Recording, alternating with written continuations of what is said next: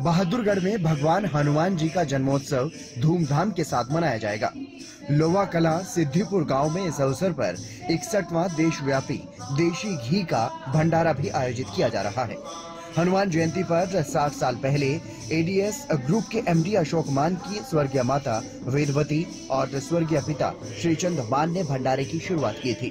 अब मान परिवार इसी परंपरा को निभाते हुए भंडारे की तैयारियों में लगा हुआ है।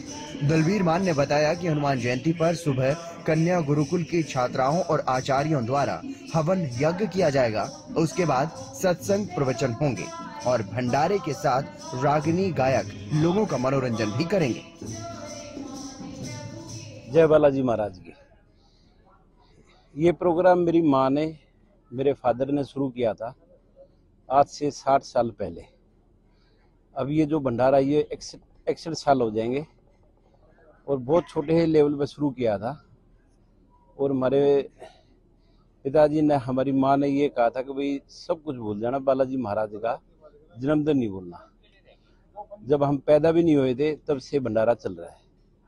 तो हमारे माँ बाप ने शुरू किया अब हम शुरू कर आगे हमारे बच्चे हैं। तो ये परंपरा है इसको हम चलाते रहेंगे। ये बालाजी महाराज। बालाजी महाराज का भंडारा यहाँ कोई गिनती नहीं है किसी भी प्रकार की कितने आ रहे हैं कितने कम है ज़्यादा है किसी बात का ऐसा कुछ भी नहीं है। बहुत भारी भंडारा होता है सारा देसी घी में।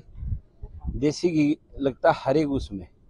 देसी घी का भंडारा है ये, और खाने पीने में लड्डू बना रखे है कड्डी है, पेठे की सब्ज़ी है, आलू है, दाल है, और घी बूरा है, घी शक्कर है, अलग से घी डालने का सभी इंजाम चलते इस भंडारे में।